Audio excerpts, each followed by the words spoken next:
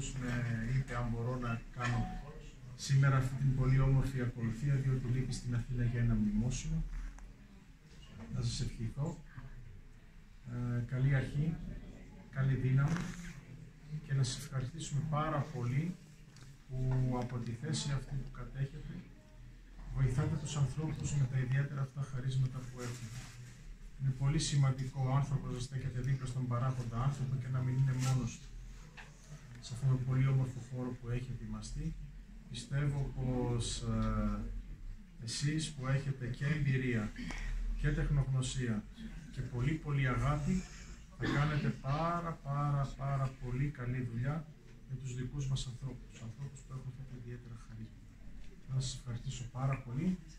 Να έχετε καλή δύναμη, καλή αρχή και καλή σαρακοστή, καλή Ανάσταση.